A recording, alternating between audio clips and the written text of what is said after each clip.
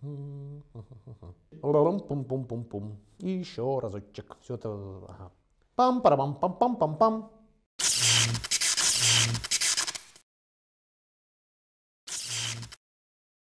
Jingle bells, jingle bells, jingle all the way.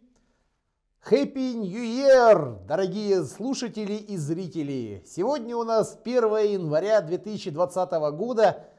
Честно говоря, нам немножечко скучно постоянно писать умные исторические лекции, поэтому можем себе позволить немножечко, чуть-чуть похулиганить сегодня. Я очень надеюсь, что у вас праздник прошел как следует. Вам не будет мучительно стыдно за бесцельно потраченную новогоднюю ночь. А мы с вами, если вдруг вы устали уже праздновать Новый год, сегодня попытаемся поговорить о том, что же можно отпраздновать 1 января, но не на новогоднюю тематику. Тем более, что праздник этот никакой не древний, несмотря на возраст Деда Мороза. Мы с вами, дорогие зрители, прекрасно знаем, что в России праздник Нового года появился благодаря Петру Первому. Именно он назначил его на 1 января.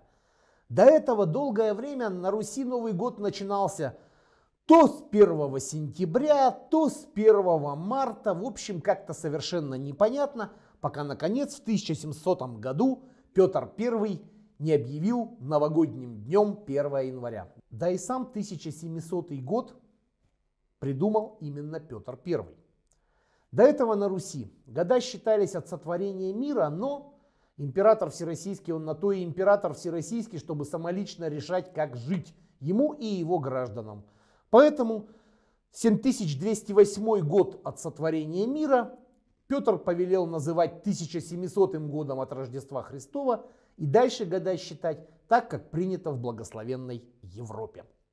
Надо сказать, что у нас-то с Новым годом еще было все нормально.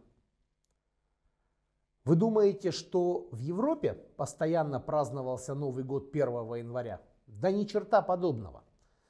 До 1622 года у этих ваших европейцев первым днем Нового года был 25 марта. И только в 1622 году римский папа решил, что 25 марта это как-то ни туда, ни сюда, ни здравствуйте, ни до свидания. И приличные люди католического вероисповедания должны праздновать год 1 января, ровно за неделю до того, как родился Иисус Христос по нашему православному календарю. И ровно через неделю после того, как родился Иисус Христос по их неправильному католическому.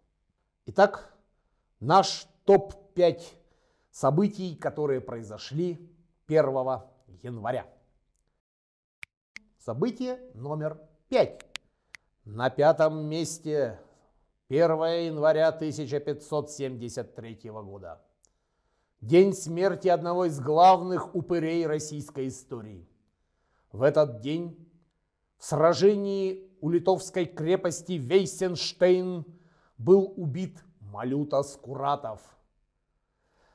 Григорий Скуратов-Бельский был одним из самых жесточайших опричников Ивана Грозного, и это знают все либеральные историки. По уму, конечно, изгинуть он должен был бы как кровавый упырь, но нет. Хотя и жил неправедно, погиб как герой, лично повел войска на приступ этой самой Ливонской крепости и в проломе был застрелен вражескую пулей прямо в героическую грудь.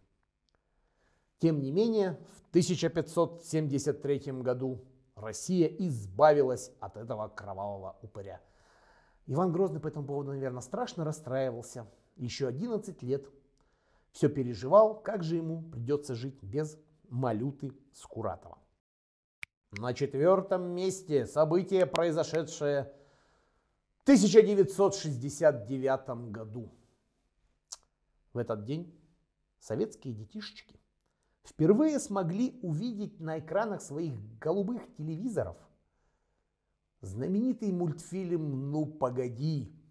Первый его выпуск, где страшный и ужасный волк, озвученный голосом артиста Попанова, гонялся за симпатичным, но чрезвычайно подлым зайцем, который озвучивала артистка Клара Румянова. Приключения волка и зайца, где они только не происходили, в исторических музеях, на плывущих кораблях, на морских пляжах или просто на улицах города, однозначно всегда приковывали советских детишек к экрану. Уж больно уморительно этот самый заяц наказывал нехорошего волка. Я бы, честно говоря, и сам бы сегодня с удовольствием пересмотрел несколько серий вот этого самого замечательного мультика, которому у нас исполнилось 51 год. На третьем месте событие важное для всех, кто испытывает гордые патриотические чувства либо применительно к Советскому Союзу, либо к сегодняшней России. В 1944 году Здесь уважающие себя люди должны встать. Впервые 1 января прозвучал гимн Советского Союза на музыку Александра Александрова. Тот самый гимн, под который и мы с вами сегодня встаем, когда он звучит. Только теперь это гимн уже не Советского Союза, а Российской Федерации. Событие номер два. Здесь надо начинать говорить по-испански – и новогодний колпак менять на черный берет со звездой. В 1959 году, 1 января, революционная армия кубинских партизан, знаменитых Барбудос, под руководством Фиделя Кастро, Че Гевары, Камила Сьенфуэгаса и других героев кубинской революции скинула к чертям собачьим прогнивший режим западного диктатора Батисты, вошла в Гавану, Куба стала социалистической страной. Венсеремос, Эль Пебло Унидо и Вива Куба Либре.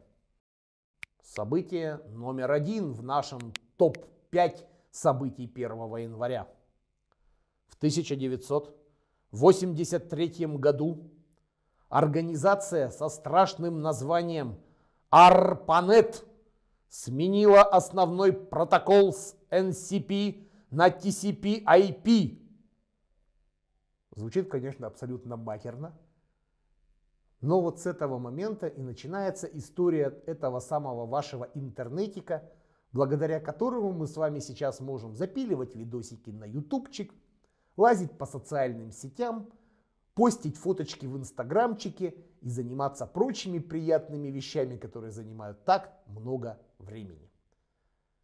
Таким образом, дорогие наши зрители, если вам не очень хочется праздновать 1 января именно Новый год, или очень хочется блеснуть своими особыми историческими знаниями, вам в помощь наши топ-5 событий, произошедшие 5 января.